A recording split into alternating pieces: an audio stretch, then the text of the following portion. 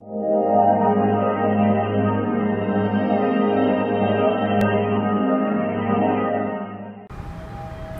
kính chào quý vị và các bạn đồng nghiệp. Tên tôi là Quách Thị Hàng Nga. Hiện nay tôi đang là thư ký kỹ thuật tại tòa nhà Hanico Tower. Tôi bắt đầu làm việc tại công ty từ tháng 3 năm 2016.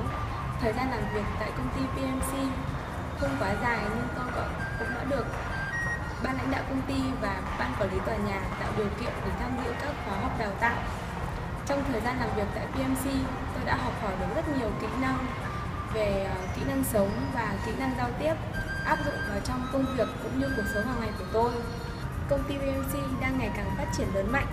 Tôi mong muốn năm 2017 công ty sẽ có nhiều thành công mới, đem lại một chất lượng dịch vụ tốt nhất cho khách hàng và hy vọng tôi có thể đóng góp một phần công sức của mình vào thành công và phát triển của công ty trong thời gian tới. Về cá nhân tôi, trong năm tới, tôi sẽ cố gắng học hỏi và trau dồi hơn nữa về kiến thức để hoàn thành tốt công việc được giao. Ngoài ra, điều tôi mong muốn lớn nhất đó là gia đình tôi, ông bà, bố mẹ, anh chị em luôn được mạnh khỏe, bình an và hạnh phúc.